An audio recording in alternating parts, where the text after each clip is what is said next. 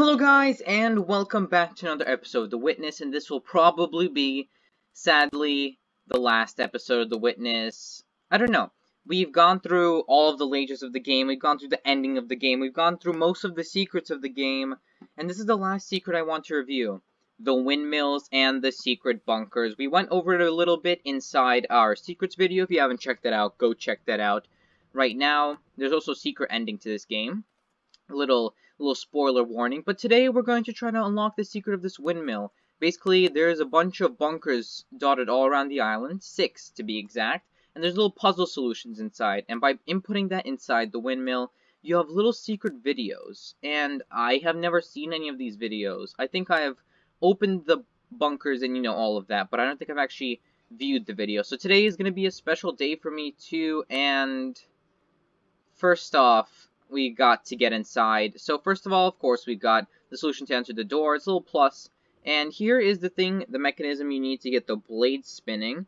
There are obviously two solutions to this. You can go left or right. I don't know how either one is affecting anything, but let's just head into the depths of the bunker. Once we get inside, I'll go bunker by bunker and uh, tell you this, their solution and kind of give you a little summary of the video. Because if I show you the whole video, this is probably going to take hours, this video. Uh, so, first let's just walk down this hall really, really nicely. There, of course, there are going to be a few puzzle solutions. This one isn't the, the toughest. It's just, you know, a little one of these segregation puzzles. We've got we've gotten very, very familiar with these. But here we are. This is kind of the like the theater and obviously, first of all, we need to open up the theater. This is it. This is where you will type in all of your puzzle solutions, that little platform. Also, here's another one of these discarded puzzles where you only have, can't touch one side. But yeah, you have to input all the different puzzle solutions, and basically it will start playing the videos in this little amphitheater. But I'm not going to do that just yet. There are a few more doors to unlock. I think there's, yeah, there's two doors down here. Here's the solution for that one, and this is a double door, so you can you can do either one of these. I'm going to show you both. And there you go, the doors are open. I don't really know where this leads. Uh, nowhere. Or does it? Wait. Ooh, look, a secret entrance, or secret exit, actually, out to this little warehouse place. Yeah, the shipping container. Now we have a little secret entrance. That's wonderful. But now let's start going bunker by bunker and watching some of these videos. Let's get into it. Now before I start revealing any more secrets to you, I just want to thank you if you have supported me throughout this entire series, and I'm actually very, very sad to have to let go of this game, not only because it is one of the most well-crafted games I've ever seen, like, this game is amazing visually and through the puzzles, but you know, it's kind of grown on me. We've done a lot of episodes, we've done a lot of these puzzles, but let's start just jumping into these videos. Here's the first one.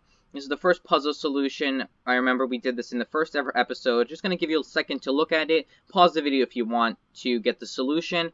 Because, you know, these are some complicated puzzles. And if you really know your knowledge of the game, then you won't struggle. But, you know, if you need a guide, here it is.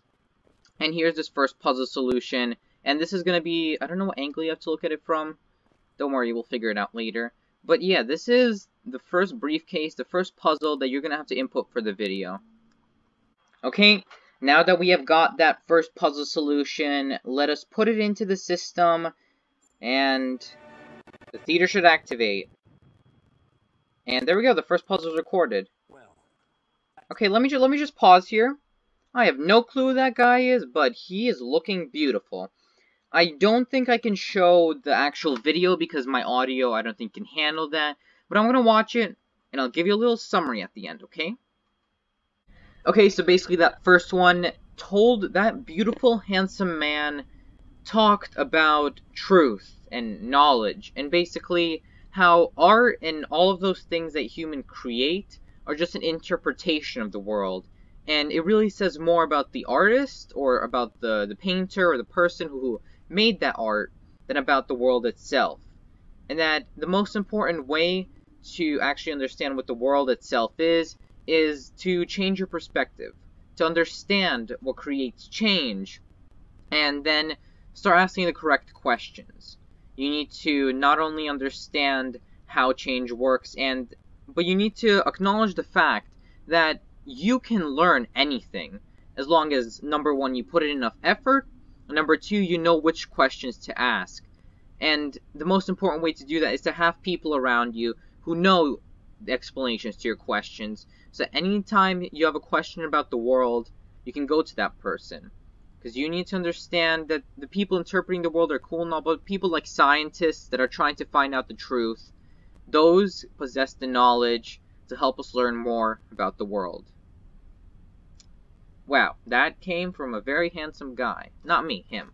I was just giving my little summary. Okay, let's go and find the second video.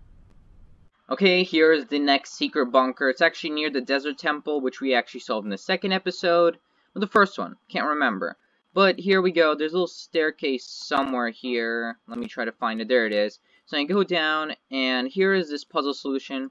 This is utilizing the, obviously, the hexagons and the Tetris blocks, I guess you can call them.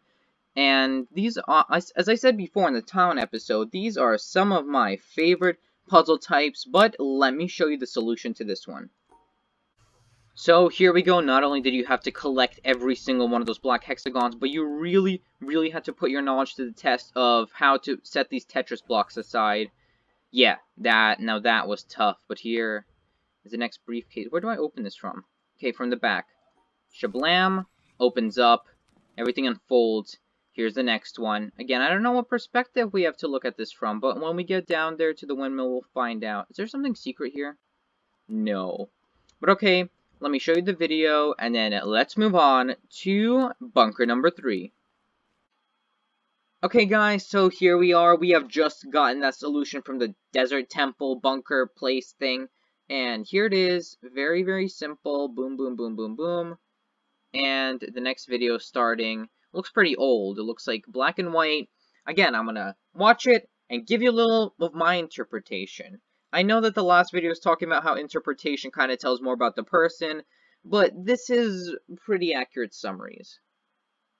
Okay then, so I just watched through that second video, and it was it was pretty long, much longer than the first one, but it was equally as interesting because it was divided into two parts. The first part was a lecture.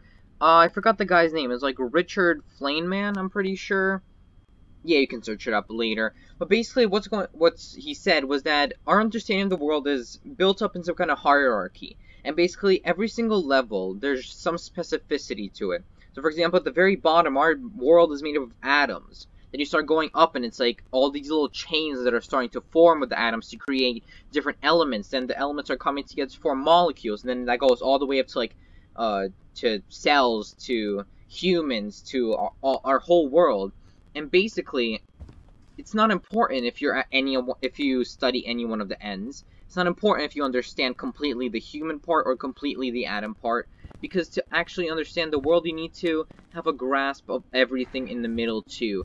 You need to understand not only how the cells are formed or, or how the human is formed, but to know about the organs, the organ system, because then, only then, do you understand how the world is interconnected, how every single aspect of it is in some way connected.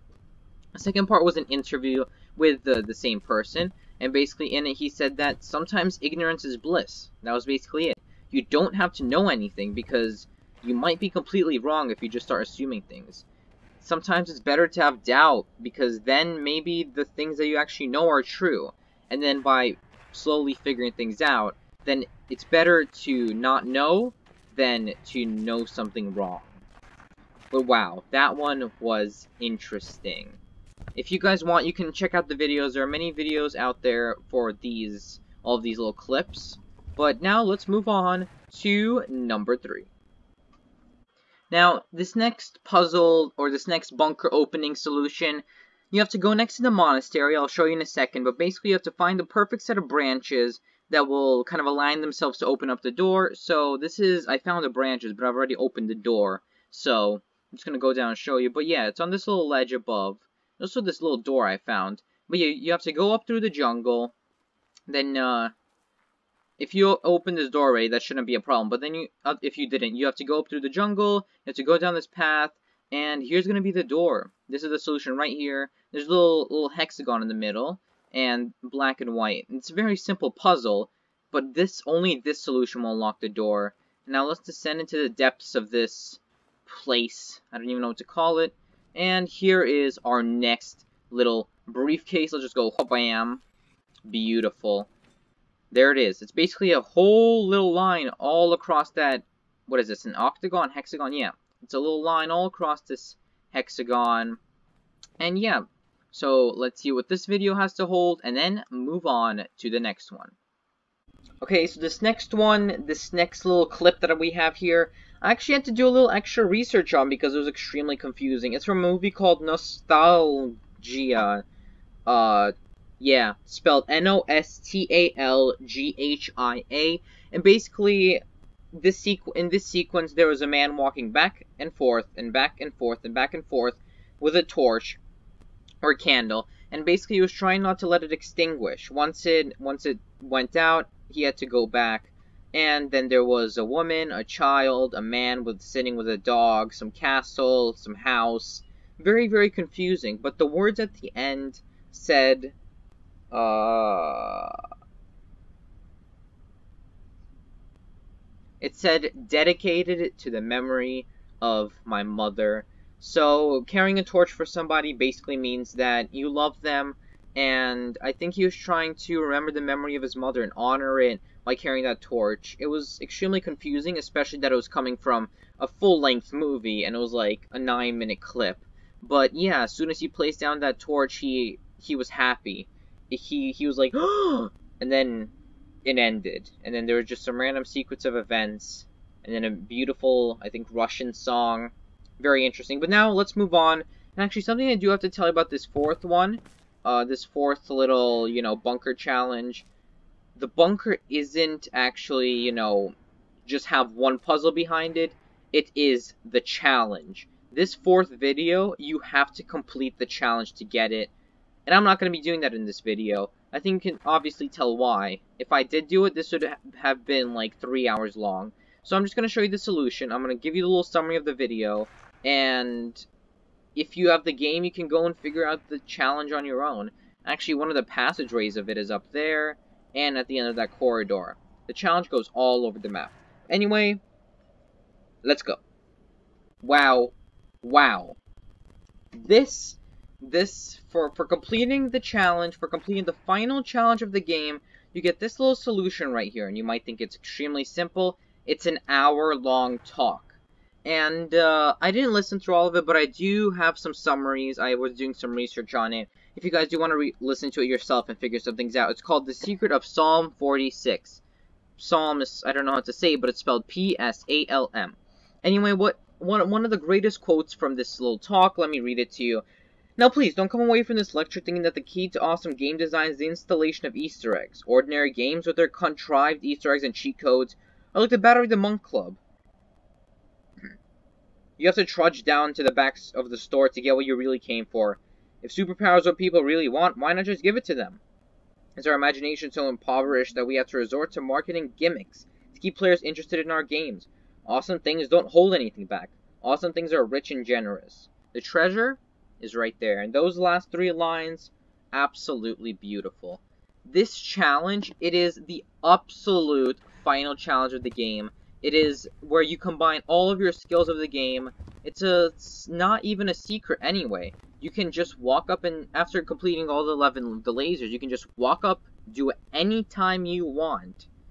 And yet this is the reward you get. You get a talk that is saying how secrets in the game aren't supposed to be actually there to make the game good. Because if a game is good, it is good. It doesn't need any secrets to justify itself. And I think that's what's really this game is trying to prove. It is based on that belief that a game doesn't have to have a lot of secrets to be the best it can be. The secrets in this game are completely optional. Everything in this game is completely optional. You, as the player, decide where the treasure in this game is. You, as the player, decide what you think the best experience is. And everything in this game is in plain view. You just need to look at it from the right perspective. This game was based on that foundation, that's why it's so amazing. Everything here is made with such such a degree where it will make the actual playing experience so amazing, you don't need any secrets. The final secret of the game, the final challenge, is telling you you have been enjoying it all, all along, or else it wouldn't be an amazing game. And I think that's really inspirational, especially for future game designers.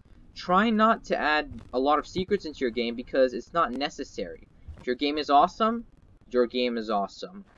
And I think that's a very fitting reward for the ultimate challenge of the of the ending. The ultimate challenge. The ultimate challenge, you complete it, and this is what you get. If you guys do want to listen again, you, the, the secret of Psalm 46. I don't know what Psalm 46 is. I am not very religious, but if you want to check it out, go check it out. Do your own, you know, analysis. But that's what I get from it. If you, this actually applies to any content. If you make something amazing, don't try to cover it up with little tiny secrets. Just allow it to be amazing. And then you'll be making what you are truly destined to be making. Wow. These vaults are really giving us a run for our money because we have to explore the whole map to get to them. Like, literally. Right now we're on a shipwreck. To get to the shipwreck, you actually have to go through the keep, you remember that. Yeah, there's a little back entrance. You have to go across this whole ship. And basically, when you're here, at the very top, well, not at the very top, but like at the very edge of the shipwreck, there's a little staircase down. So yeah, these, these, these secrets are really making us go across the map, and I don't think you'll find them if you're not looking. But yeah, you go downstairs, and here is this door. This is another one of those sound puzzles, and you're going to solve them with the swooshing of the waves, I guess you could say. And you don't need to collect this black, you know, this black hexagon. Like, for the first time ever, you don't need to collect this black hexagon. You do need to collect this one, though. And you're basically going to listen for the pitch of the waves, I guess you can call it, and then find the the one that actually not only solves the puzzle, but does... There we go, there's a solution. But actually does coincide with the sounds you're hearing. But here's another solution. Looks like um, uh, an object I don't, I don't want to say the name of. You know, uh, people people have it. Yeah. But, um, yeah, this is the fifth one. The fourth one, the one before, was the challenge. You literally have to complete the challenge to get that one. And now let's move on to the final little, you know, bunker. And it is going to be actually on the mountain. We're, we're returning to the mountain. Yay! So, here it is. Here we just came from the shipwreck, and here's that obscene shape that I don't want to talk about. And to actually understand what this lecture from Robert Rupert Spira is talking about, the lecture is called A Lesson in Non-Duality, if you want to check that out. We have to, to, but to understand this, we have to go to an interview from Jonathan Blow, who was actually created this game. And basically, he says that one of the aims of the game is to cultivate the presence that witnesses oneself seeing the world. Basically, in Taoism, there's this belief that the witness or the witness consciousness is a part of ourselves that observes and only observes without judgment our actions and emotions. Basically, in this game, everything you are doing, you have to acknowledge the fact that you are witnessing it. You are there, and you are you have to understand that you are there in the presence, witnessing all of your actions and emotions. And if you don't have any judgment throughout all of that, if you're able to be oneself with what you're witnessing and actually not start to create opinions on it, then that is the only way that you'll be able to solve these puzzles successfully. Some puzzles, yes, are harder than others, are easier than others, but all of them, you are witnessing them, and only you can understand what they are. Well, that's at least my interpretation. This one is probably one of the most complicated ones. Of course, the last one was an hour long, but this one, it really, really holds a deep belief, or a deep, you know, ideology, because it connects to the title of this game. Have you ever thought why this game was called The Witness? because it is you. You are the witness in this game. And you are trying to witness everything and trying to be non-judgmental and instead to look from different perspectives to actually solve the puzzles. And that is exactly the aim of this game and why it is called that. And this lesson was pretty deep. But now, let's move on to the sixth and final video clip. And the last, last, last secret bunker it's somewhere on the mountain. It's not at the bottom. It's not at the top. Where could it be? Actually, you might have missed it while you were going along this path, but it is somewhere on your way to the mountain. And as I'm ascending, I'm going to try to find it, obviously. But yeah, it's somewhere here. There we go. See, the rocks are positioned in such a way that if you can just walk right past it and seem like nothing happened at all. But no, here is the last one of these vaults. I don't, yeah, what would you call them? Vaults, things, blah, blah, blah, blah, jingies. So yeah, let me solve this one real quick, and I will get back to you. Now, actually, something you may not realize when solving this puzzle is that there is actually an invisible symmetry puzzle. When you're solving this, you are the blue line, and you collect the blue little pieces. But yeah, there is a symmetry puzzle. I'm pretty sure somebody else starts here from the top, or, you know, not somebody else, really you. But look at this beautiful view at the ocean. It's really empty. But here we are, the final little briefcase. Ta-da! And yeah, I don't know what shape this one forms. The last one formed a very questionable shape. This one is actually pretty interesting. Yep, yep. So I've got that in my mind. I've got that written down. So now we're going to go back, input this last one, see what the video has to hold for us. Well, before we do, wow. Wow. Again, this game, mwah, chef's kiss. And here we go. Here's this final solution. And again, just like all the last ones, I will analyze it and I will give you my interpretation of it because wow if you want to again if you want to interpret this in your own way go ahead and watch this i will i will tell you the title after after this uh, give it this little short interruption. And finally this last video clip it is a lecture from Gangaji. She is a spiritual basically teacher and she's talking about mindfulness and understanding where you are in this moment instead of trying to look into the future. The main thing that she's saying is stop looking for you want for what you want. Because a lot of the time people are just looking forward into their dreams and never actually realizing where they are at this point. She keeps saying that who you are is always fresh. Not new but fresh. It's you your interpretation of yourself that's a, that's a lie. What you think of yourself you sh that shouldn't be the, your image of yourself. If you could just stop for a moment thinking about your hope if you, that's a real challenge, she says. If you can accept that challenge and just stop for a moment to stop thinking about what you want and instead about who you are, then that will definitely give you a new perspective on life. You should be mindful about where you are in the moment, and only then will you truly be able to reach your goals. Because if you keep just creating an image of yourself instead of actually understanding who you are, then who are you? If you don't understand who you are, how will anyone else? because everybody will, just keep making interpretations of you just like you are. So you need to understand yourself. You need to stop looking to the future for a moment and practice some mindfulness and say, this is who I am, and then this is where I want to be in the future. Because then, knowing yourself is much, much more powerful than wanting anything in the world. Understanding who you are is much more powerful than understanding what you want. And I think on that note, is a very, very powerful message to leave this on. In this episode, I had to do a lot of research. I had to listen through these. Yeah, first of all, I had to find the bunkers and find the solutions, but to listen through all of this and actually understand, wow, some really powerful messages. We learned about mindfulness. We learned about the witness and how you are and how you are witnessing everything in your life, and it's important to be non-judgmental. And we learned about uh, what else did we learn about? We learned about game creation and love and all of that. Wow. This episode was a blast, and i am very happy if you were able to stick through. And I really want to hear your opinion on these things. I've shared the title of everything in this episode. I've shared the title of all these video clips, so I'm not gonna. I was. I didn't show you the actual video, but you can go check it out on your own. And hopefully, you can in the comment section below, you can tell me some of your ideas about, you know, some of these concepts because my interpretation might not be the right one, as we learned in the, the very first one. But on that note, guys, I'd like to thank you so much for watching. This is probably the end of the Witness series, and that's very, very sad because it's a beautiful game. It's, it's a very beautiful game. Even the secrets don't make it any better. So, like the video if you enjoyed it. Again, tell me in the comments what you thought of this video. Subscribe if you haven't already. And on that note, goodbye.